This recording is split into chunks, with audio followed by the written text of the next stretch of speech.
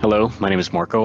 I'm a global support engineer within Dell EMC, specializing in our PowerEdge modular platforms. Today, we're going to go over how to perform a server reseat within OpenManage Enterprise Modular. First, we will need to log in with admin level credentials. Once in OpenManage Enterprise Modular, we want to go to Devices, select Compute. The server we're going to use as an example today is in an off state. We want to select, we want to go under Power Control, want to do System Reseat we receive an alert about a power control action and if we want to proceed. We do. You will receive a notification that the job is successfully created. We want to select the server. We can monitor and confirm that the job is running.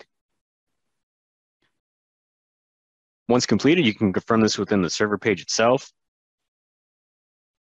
And that is how you reseat a server within OpenManage Enterprise Modular